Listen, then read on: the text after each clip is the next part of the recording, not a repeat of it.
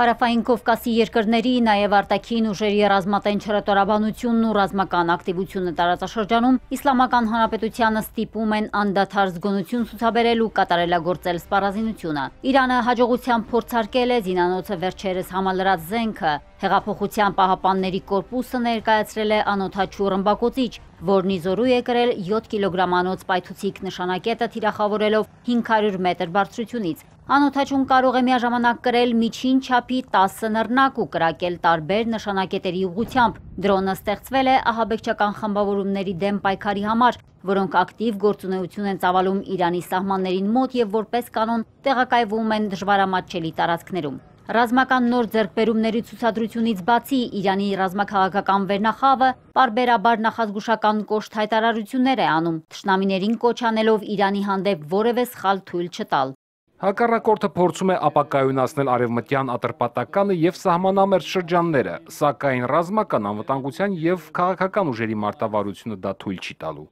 Գուդարզին նշել է, որ արևմտյան ատրպատականը կարևոր դեր ունի երկրի անվտանգության հարցում, Եթե խռովարարները կամ անջատողական խմբերն այստեղ ակտիվանան, դա կտարածվի ամբողջ երկրում, ուստի այս նահանգի անվտանգությունը շատ կարևոր է, հայտարարել է սահմանապահ զորքերի հրամանատարը։ Զինվորականը խոսել է անցած աշնանն Իրանում տեղի ունեցած անկարգությունների մասին։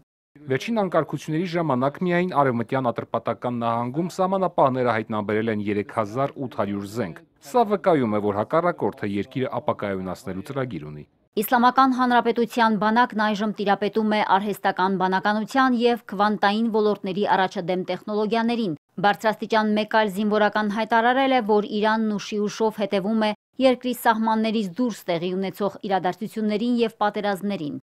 Կախարգելիչ ուժը մեծացնելու նպատակով բանակը հետևում է արհեստական բանականության, քվանտային, պլազմային, լազերային, քիմիական կամ ռոբոտային պատերազմների ոլորտներին։ Այսօր մեր հերոսական ցամաքային ուժերը տեղակայված են արևելյան եւ արևմտյան սահմաններին եւ պահպանում են անվտանգությունը, բայց միայն սահմանների վերահսկողությունը բավարար չէ։ Մենք պետք է մոնիտորինգ իրականացնենք նաև սահմաններից դուրս, սակայն առանց որևէ երկրի նկատմամբ ոտնձգություն իրականացնելու։ Թեպետ Տիրանն օրեցօր է համալրում արսենալն ու պարբերաբար ռազմավարական զինատեսակների ցուցադրություններ կազմակերպում, Թեհրանի դիվանագիտական կորպուսն ակտիվ լծված է հարաբերությունները խաղաղ կարգավորելու գործընթացին։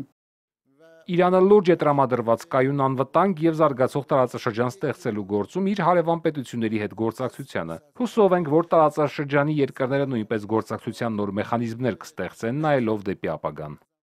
Թշնամական երկրներին հասցեական ուղերձները հնչում են ոչ միայն Իրանի ներսից։ Սիոնիստական վարչակարգի դեմ կոշտ հայտարարությամբ է հանդես եկել Լիբանանյան Հեզբոլահի ղեկավարը։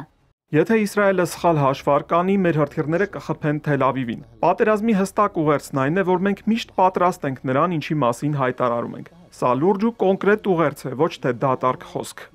Սաֆիուդինը հայտարարել է, որ Հեզբոլահը ստեղծվել է Իսրայելը ոչնչացնելու համար, որքան գոյություն ունենա սիոնիստական ռեժիմը, այնքան ավելի կհզորանա խմբավորումը։ Պայքարն էլ կշարունակվի մինչև Իսրայելի ոչնչացման եւ տարածաշրջանից վտարման խոստացված պահը, եզրափակել է Հեզբոլահի ղեկավարը։ Մարիկ Օստանյան, Էպիկենտրոն։